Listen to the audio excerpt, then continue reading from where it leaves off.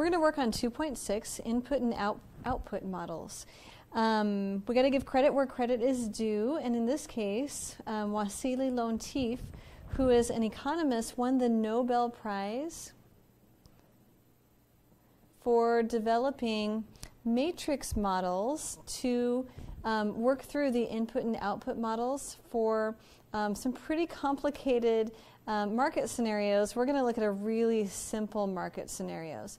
The idea is that as you're producing some kind of a product, whether that's um, you know wheat or calculators or phones or something like that, um, you're inputting some values, but you're also outputting those values um, in a way that works together. Energy might be your product, and to produce energy, you need energy. So you use up part of the commodity you're producing. And um, what we what we're going to do, we're going to work through some matrices that have fractions of those commodities, commodities that get used up. Okay, you can tell I'm not an economist. However, this is a really great application of what we've learned here in chapter two, and it's also um, a really interesting, um, very you know, very well thought out process. So we're going to go ahead and start off with um, an example of a very simple um, market. And in this first um, market economy, we've got just three commodities. And I'm going to go ahead and label those commodities in a three by three matrix. So we've got agriculture, manufacturing, and transportation. These work together to produce some agricultural commodities. You're also using up some agricultural commodities um, and so on. So I've got ag, manufacturing, and transportation. And here's how I put this together. We're going to work on work on agriculture. To produce one unit of, one unit of agriculture, it requires half a unit of manufacturing, and that unit can be whatever it's going to be, and we're going to define that later with our next matrix.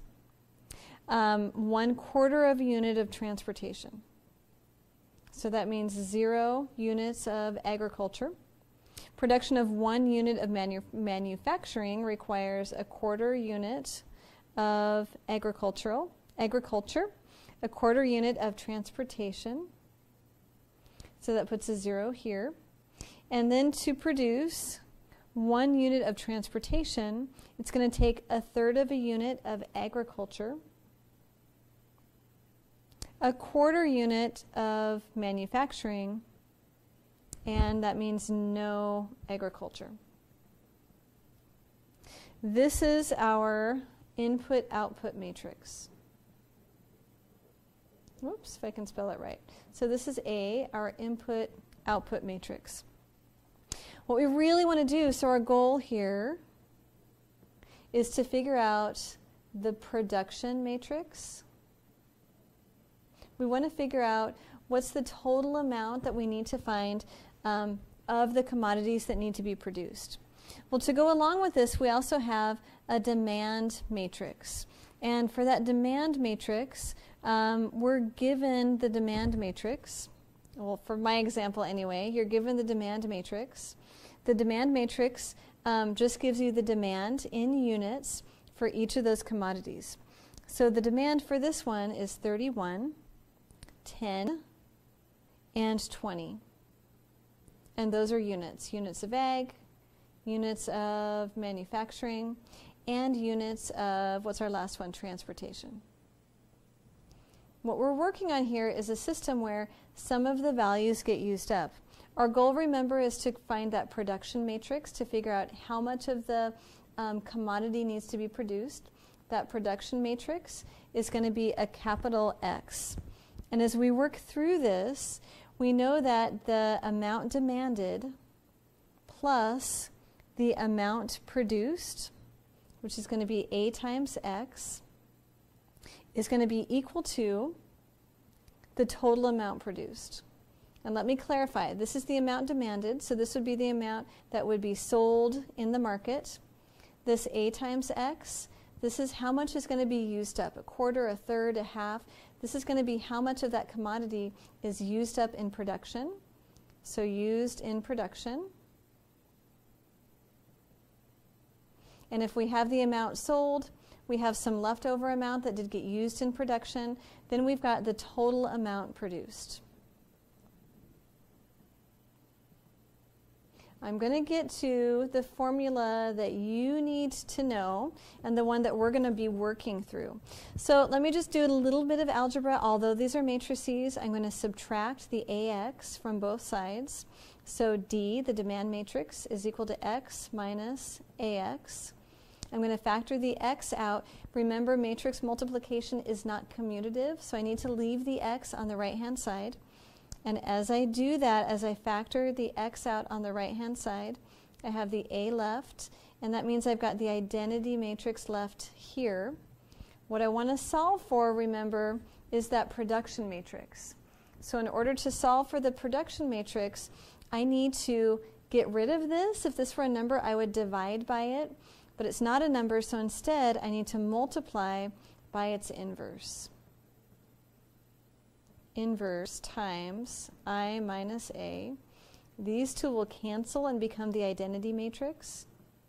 So on this side, we're going to get that matrix that we were looking for, the number that we need to produce, the demand plus the um, ones that get used up in production. On the other side, I need to do the same thing. So that is I minus A. That's our identity matrix, 3 by 3 just so you know where I am here, 0, 0, 0. So that 3 by 3 identity matrix is the I. I minus A inverse, whatever I do to one side, I do to the other side, times D. Okay, so a lot of theory. I probably also butchered this poor economist's name that won the Nobel Prize. But what we've got now is our formula.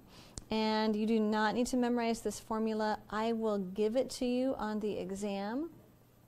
But this formula gives us exactly what we need to use to find the amount produced.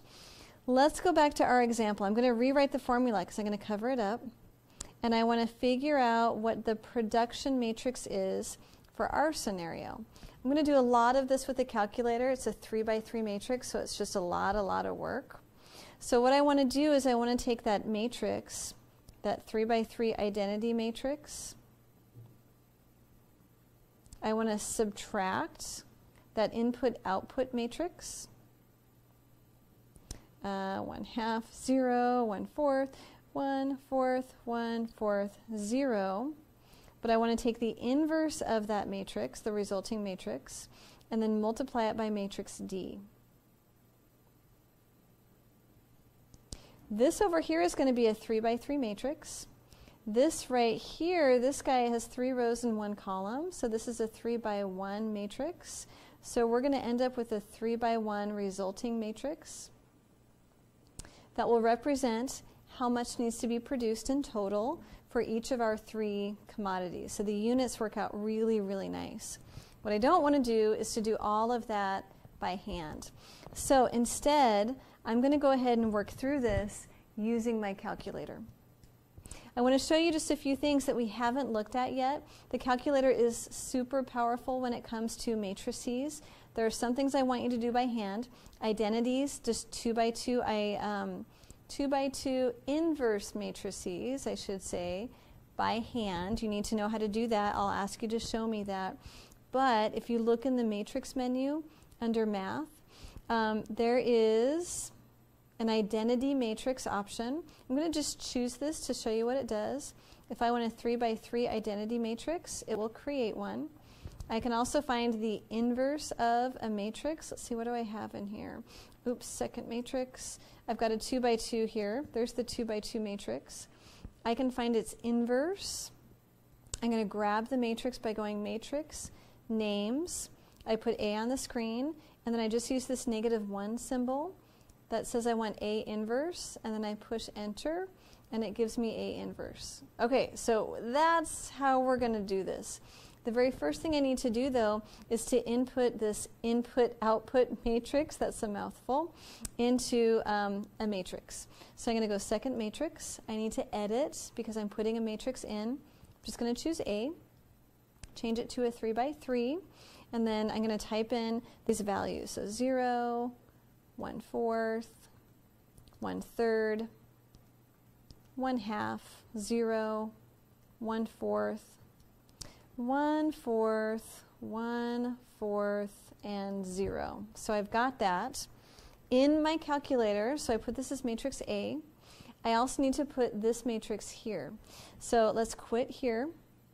Go back to matrices. Um, you can choose D. That's a really nice way to label these. So this will be D. That will be A. Let's go ahead and choose matrix D. I want it to be a 3 by 1 matrix. Whoops, I want to edit it. So matrix, edit. I'm going to edit matrix D, changing it to a 3 by 1 matrix.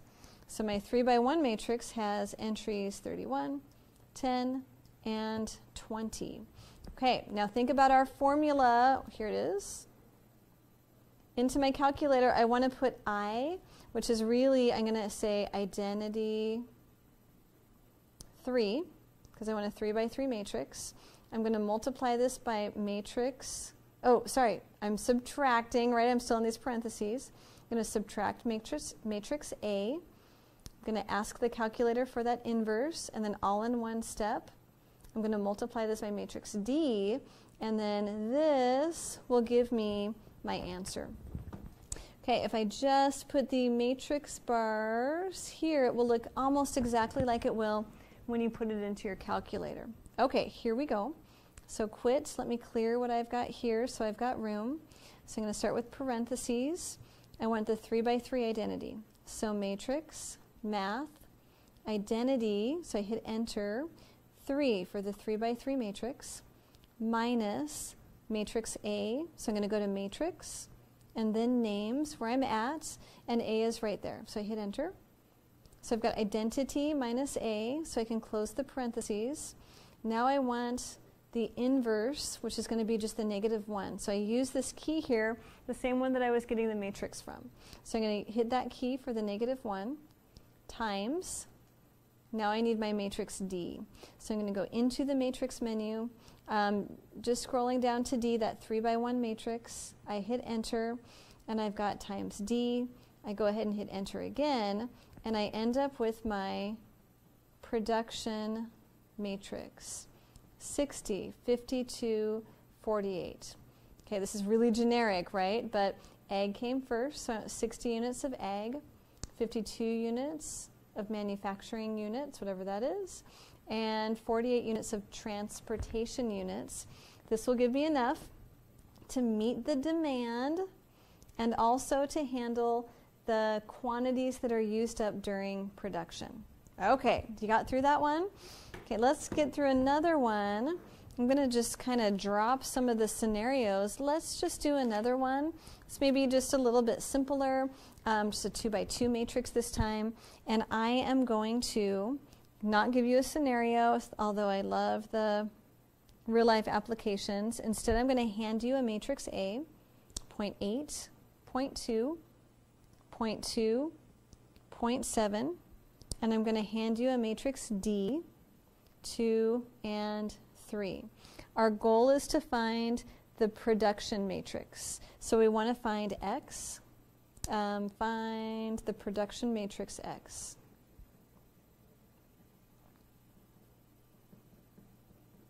Okay, so I'm going to go to my formula.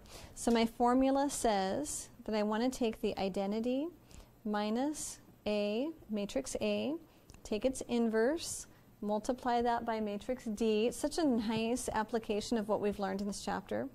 And that's going to give me the production matrix. Okay, so we can do this, right? So I'm going to do in my calculator, I need to change A to this matrix. Get a lot of experience plugging in matrices. So I'm going to, I'm going to go second matrix and edit. Whoops, edit. This guy is 2 by 2, so 2 by 2.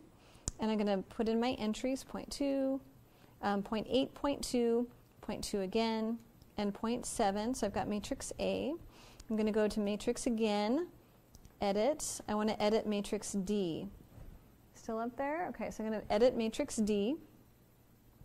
D is no longer a 3 by 1, it's a 2 by 1. And my entries are 2 and 3. I'm going to follow this formula through. So let me quit here. I'm going to follow the formula through. Remember this I is identity, but this time we want identity 2. Okay, so following it along, here we go.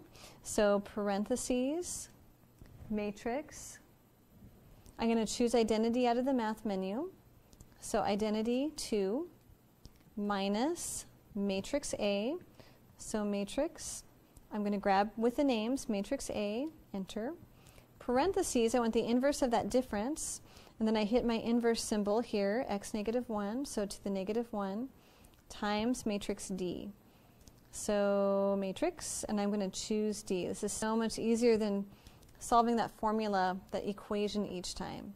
And we end up with 60 and 50, so a 2 by 1 matrix, so 60 and 50. We can do this again for another um, 3 by 3 or a 2 by 2, but really the key is that you've got your calculator skills down. You know, I gave you an example where you kind of had to read through the information a little bit to figure out that this was your input-output matrix because you had a, a, fraction of what um, commodities were used up during production. So that's your input-output matrix, ma input-output matrix. They gave you the demand, how many units were demanded of each quantity. And then our goal was to figure out the units that needed to be produced to meet demand and what was used in production. Um, and here, again, we, have, we don't have a context, but x is equal to 60 and 50, 60 units of whatever the first commodity is, 50 units of the second. Um, these are really very oversimplified examples of input-output matrices. Um, they get very, very large because, as you know, most um, markets have many, many more commodities than just two or three. But as you're working through these examples, this is the formula I want you to use. And in your calculator, I wish I wouldn't have put that there, but in your calculator, this is what you're practicing. You're using the calculator's features to grab the identity, do the subtraction, take the inverse, and multiply it by the demand matrix.